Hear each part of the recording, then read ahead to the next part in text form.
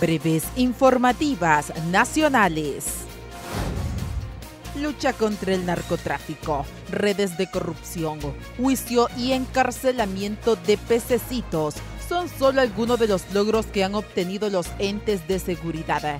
Es por ello que el vocero de la misión de apoyo contra la corrupción e impunidad en Honduras, MATSI, Juan Jiménez Mayor, destacó la transformación que está teniendo el Ministerio Público en su lucha contra la criminalidad, especialmente en los últimos años, en la juramentación de 126 nuevos fiscales. Venimos viendo un proceso de transformación y fortalecimiento del Ministerio Público. A veces uno piensa que las cosas no caminan, no piensa que seguimos igual que siempre, pero déjenme decirles, y creo que soy una persona que tenazmente vengo diciendo esto a la opinión pública, por más que nos peguen, porque nosotros también nos pegan. Decir que efectivamente hay un proceso de fortalecimiento y transformación de la Fiscalía de Honduras.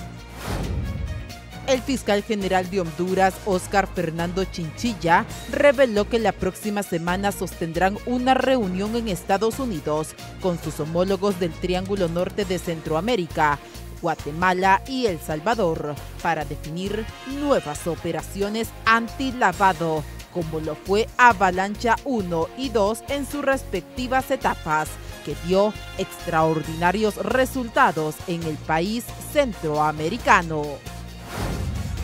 Ay, ay, ay. Entró a la corte sonriendo, pero antes de ser sentenciado, Fabio Lobo se puso de pie y en lágrimas recordó que se había declarado culpable. Apeló a la misericordia de la jueza, quien sin conocer de ella le dictó 24 años de prisión, alegando que él abusó del lugar que ocupaba su padre, el expresidente Porfirio Lobo Sosa, para favorecer al crimen organizado en la distribución de drogas hacia los Estados Unidos. Con la bofetada que ha dado Trump al plan DACA, hay quienes señalan que Honduras debe olvidarse de la renovación del estatus de protección temporal conocido como TPS. El gobierno de Honduras lamentó la decisión que tomó el presidente de los Estados Unidos, Donald Trump, en cancelar el programa de protección DACA que acoge a más de 800 mil jóvenes migrantes, de los cuales 18.526 son de origen hondureño. La reacción de Honduras se realizó mediante un comunicado en el que se solidariza con todos los jóvenes compatriotas denominados Dreamers o Soñadores.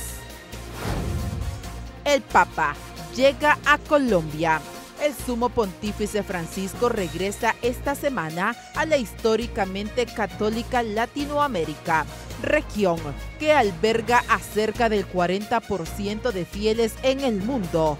Junto a él, una comitiva llegará a una conflictiva Colombia en proceso de paz con la guerrilla, en medio de la tensión con Venezuela y con un panorama sombrío de fe y esperanza para los más necesitados breves informativas nacionales.